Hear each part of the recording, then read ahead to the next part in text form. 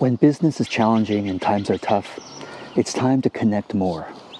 Connect more within ourselves and connect more with other people. Let me explain. First, connect more within yourself to that source of eternal security and eternal creativity. It's all within you.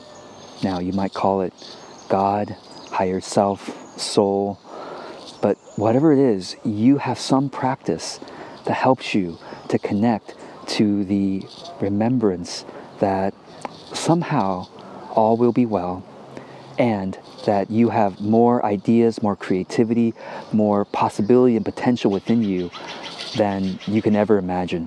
So first do whatever practice you need to to connect within yourself so that you can do the next thing, which is to connect outward to other people in the spirit of generosity and of service.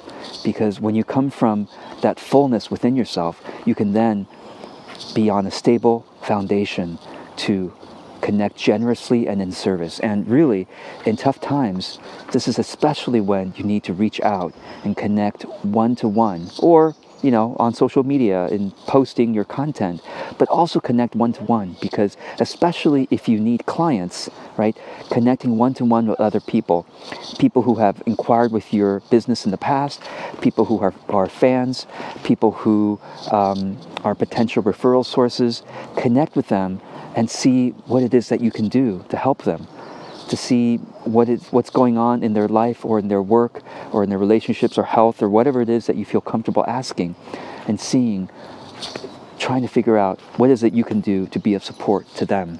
Because there's too little connection these days one to one so many people are just trying to connect on social media posting videos like this but connecting one to one is always more valuable and more meaningful to, to you and to the other person than just connecting in mass. So I hope this is encouraging to you. Remember, when times are tough, connect within and then connect without. Connect with others. All right. My name is George Kao. I love talking about authentic business and doing marketing from the heart, doing marketing authentically. If you like this video, you'll probably enjoy my others as well. So I'll see you in the next video.